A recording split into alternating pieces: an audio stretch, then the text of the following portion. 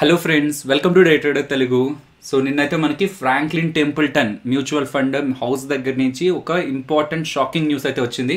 Negative news అని అనుకోవాలి.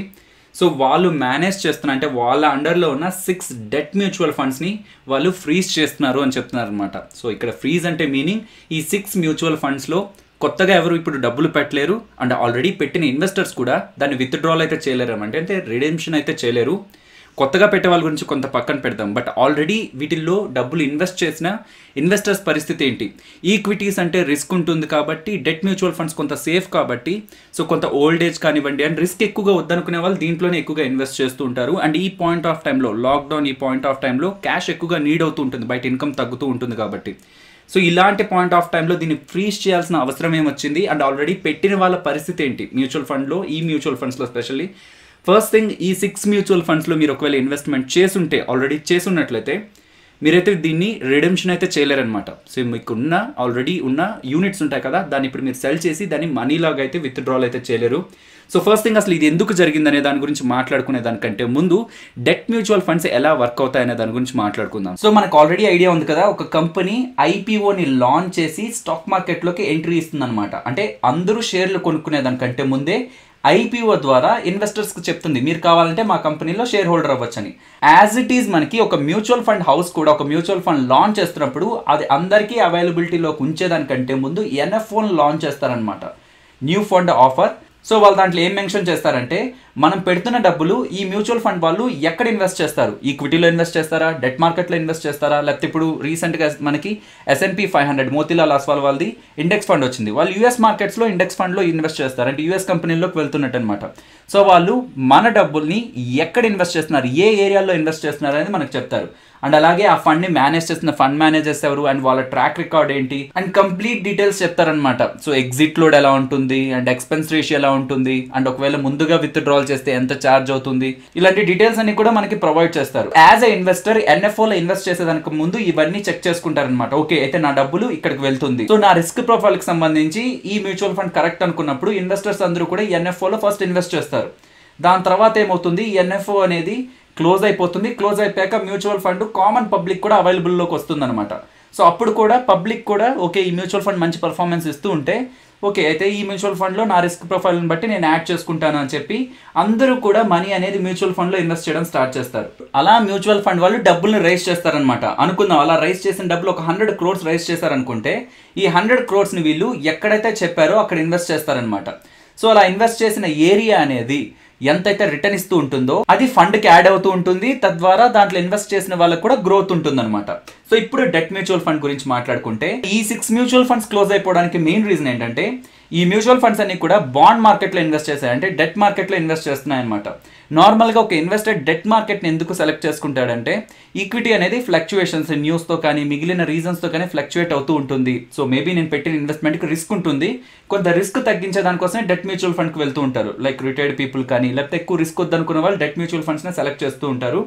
So ఇప్పుడు ఈ కేసులో ఏం జరిగిందంటే అనుకుందాం హండ్రెడ్ క్రోర్స్ అనేది ప్రెసెంట్ ఈ మ్యూచువల్ ఫండ్ బాండ్ మార్కెట్లో ఇన్వెస్ట్ చేసింది అనుకుందాం. ఎన్ఎఫ్ఓ ద్వారా కలెక్ట్ చేసింది అండ్ పబ్లిక్ దగ్గర నుంచి కలెక్ట్ చేసింది ఒక హండ్రెడ్ క్రోర్స్ ఉంటే దేంట్లో ఇన్వెస్ట్ చేశారని చెప్తున్నాం? కంపెనీస్కి సంబంధించిన బాండ్స్లో ఆ బాండ్స్కి మెచ్యూరిటీ ఉంటుందన్నమాట. ఆ మెచ్యూరిటీ మేబీ వన్ ఇయర్ ఉండొచ్చు టూ ఇయర్స్ ఉండొచ్చు త్రీ ఇయర్స్ ఉండొచ్చు అండ్ ఇంకా కూడా ఎక్కువ కూడా ఉండొచ్చు. దీని మీనింగ్ ఏంటంటే వన్ ఇయర్ మెచ్యూరిటీ ఉండే బాండ్స్లో ఒకవేళ మ్యూచువల్ ఫండ్ వాళ్ళు ఇన్వెస్ట్ చేసినట్లయితే వన్ ఇయర్ వరకు కూడా ఆ కంపెనీ దగ్గర నుంచి వాళ్ళకి వడ్డీ వస్తూ ఉంటుంది. కానీ ఆ మెచ్యూరిటీ టైంకి మాత్రమే వాళ్ళకి అసలు వస్తుంది అనమాట అండ్ టూ ఇయర్స్ మెచ్యూరిటీ ఉండే బాండ్స్లో ఇన్వెస్ట్ చేసినట్లయితే టూ ఇయర్స్ వరకు కూడా కంపెనీ అనేది ఈ బాండ్స్లో మ్యూచువల్ ఫండ్ ఇన్వెస్ట్ చేసిన దానికి కానీ వడ్డీ పే చేస్తూ ఉంటుంది.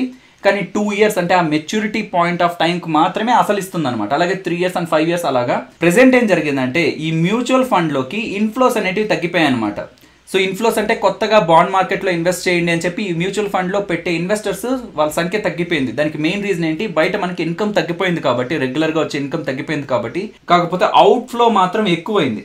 అవుట్ ఫ్లో అంటే అంతకుముందు మ్యూచువల్ ఫండ్స్లో ఈ బాండ్స్లో ఇన్వెస్ట్ చేయండి అని ఇన్వెస్ట్ చేసిన ఇన్వెస్టర్స్ మాకు మా డబ్బులు కావాలి అని చెప్పి విత్డ్రాల్ చేయడానికి ప్రయత్నిస్తున్నారు. అంటే రిడెంప్షన్ చేయడానికి ప్రయత్నిస్తున్నారు. అది మనకి ఎక్కువైంది. దీనికి రీజన్ ఏంటి?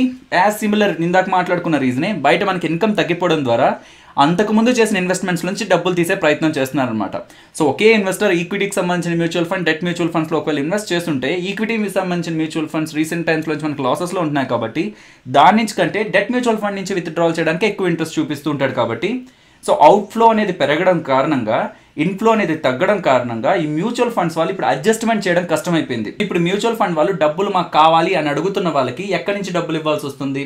ఓకే వాళ్ళు బ్యాంక్స్ దగ్గర నుంచి అండ్ అదర్ సోర్సెస్ దగ్గర నుంచి ఫండ్స్ కొంత రైజ్ చేయగలరు.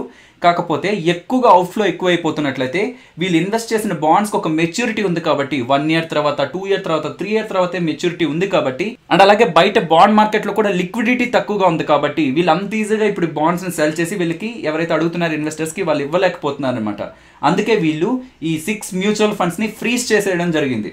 సో ఇక్కడ ఫ్రీజ్ చేసేయడం అంటే కొత్తగా ఎవరు ఆ సిక్స్ మ్యూచువల్ ఫండ్స్లోకి ఇన్వెస్ట్మెంట్ చేయలేరు. అలాగే ఇన్వెస్ట్ చేసిన వాళ్ళు కూడా వాళ్ళ డబ్బులను అయితే తిరిగి తీసుకోలేరు అనమాట ఆ సిక్స్ మ్యూచువల్ ఫండ్స్కి సంబంధించిన asset under management almost thirty thousand crores దగ్గరగా ఉంది ఫ్రెండ్స్. అంటే థర్టీ థౌసండ్ క్రోర్స్ దగ్గరగా పీపుల్కి సంబంధించిన money twenty eight to thirty thousand crores దగ్గరగా ఆ మ్యూచువల్ ఫండ్స్లో అయితే ఉంది. సో ఇప్పుడు ఏం జరుగుతుంది? నెక్స్ట్ ఏం జరుగుతుంది? ఇలా ఇన్వెస్ట్ చేసిన వాళ్ళ పరిస్థితి ఏంటి? ఆల్రెడీ ఇన్వెస్ట్ చేసిన వాళ్ళు ప్రజెంట్ విత్డ్రాల్ అయితే చేయగలరా? చేయలేరు.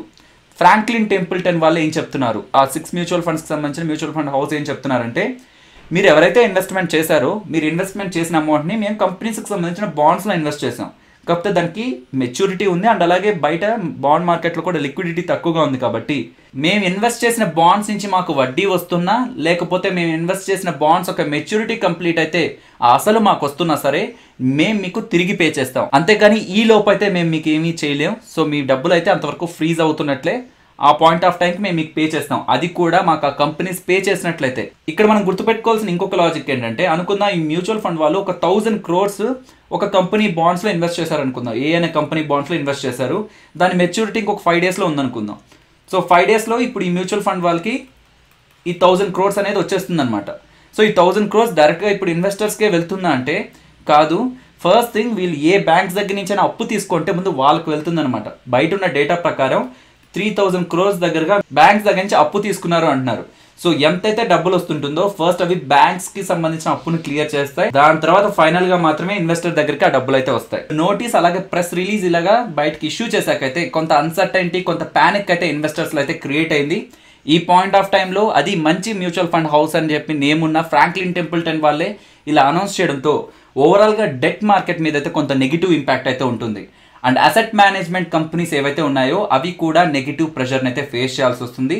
సో హెచ్డిఎఫ్సి ఏఎంసీ కూడా ఈరోజు ఇంట్రోడే సెషన్స్లో డౌన్ అయింది. నిపాన్ వాళ్ళకి సంబంధించిన అసెట్ మేనేజ్మెంట్ కంపెనీ కూడా ఇంట్రోడే సెషన్స్లో టెన్ లెవెన్ పర్సెంట్ దగ్గరగా ఫాలో అవడం అయితే జరిగింది. ఇది ఒక నెగిటివ్ సెంటిమెంటే అనుకోవచ్చు ఫ్రెండ్స్ మ్యూచువల్ ఫండ్స్కి సంబంధించి రిస్క్ తక్కువగా ఉంటుందని చెప్పి బాండ్ మార్కెట్లో ఇన్వెస్ట్ చేయాలని చెప్పి మంచి మ్యూచువల్ ఫండ్ హౌస్ ఏంటి అని సెలెక్ట్ చేసుకున్న తర్వాత కూడా ఇలాంటి కండిషన్స్ని హ్యాండిల్ చేయలేని పక్షంలో మ్యూచువల్ ఫండ్ ఇలాంటి డెసిషన్ తీసుకోవడం అనేది డెఫినెట్లీ ఒక నెగిటివ్ సెంటిమెంట్ని అయితే మార్కెట్లోకి తీసుకువెళ్తుంది. లైక్ రీసెంట్ టైమ్స్లో ఎస్ బ్యాంక్ ఇంపాక్ట్ ఎలాగైతే బ్యాంక్స్ మీద అయితే కనిపించిందో అలాగే సిక్స్ డెట్ మ్యూచువల్ ఫండ్స్ని ఫ్రీజ్ చేస్తున్నాం. ఫర్దర్గా మాకు డబ్బులు వస్తేనే ఇన్వెస్టర్స్కి పే చేస్తాం. అంతవరకు ఇన్వెస్టర్స్ వెయిట్ చేయాల్సిందే. మీరైతే విత్డ్రాల్ చేయలేరు రిడెంప్షన్ చేయలేరు అని చెప్పే స్టేట్మెంట్స్ అయితే డెఫినెట్లీ నెగిటివ్ అనుకోవచ్చు. సో దీనికి సంబంధించి సెబీ అయితే మనకి ఇంకా రియాక్ట్ అయితే అవ్వలేదు. ఐఎమ్ ఎక్స్పెక్టింగ్ కమింగ్ టైంలో అయితే రియాక్ట్ అవుతుందని. సో ఇలా చేసిన దానికి కానీ ఏదైనా యాక్షన్ తీసుకుంటారా లేకపోతే ఏదైనా గైడ్ లైన్స్ ఇస్తారా అనేది కూడా. ఫైనలీ ఇది ఫ్రెండ్స్ ఒకవేళ మీరు సిక్స్ మ్యూచువల్ ఫండ్స్లో కానీ ఇన్వెస్ట్ చేసినట్లయితే డెఫినెట్లీ ఇంకా వెయిట్ చేయాల్సిందే. సో వాళ్ళు చెప్తున్న దాని ప్రకారం అయితే. ఫర్దర్గా వాళ్ళ దగ్గర నుంచి వస్తున్న అప్డేట్స్ని మన ఛానల్లో తప్పకుండా కవర్ చేస్తాను. ఫైనలీ ఇది ఫ్రెండ్స్ మన వీడియో నచ్చిందా? సో నచ్చినట్టయితే లైక్ చేయండి. ఈ వీడియో మన వాళ్ళకి షేర్ చేస్తే వాళ్ళకి యూస్ఫుల్ అవుతుంది అనుకుంటే తప్పకుండా షేర్ చేయండి. అండ్ మన ఛానల్ని సబ్స్క్రైబ్ చేయనట్లయితే కంటెంట్ని గమనించండి. కంటెంట్ నచ్చితే ఛానల్ని సబ్స్క్రైబ్ చేసి పక్కనే వచ్చే బెల్ ఐకాన్ క్లిక్ చేయండి. మరొక ఇంట్రెస్టింగ్ వీడియోతో మళ్ళీ మీ ముందుకు వస్తాను. అంతవరకు టేక్ కేర్ జై హింద్.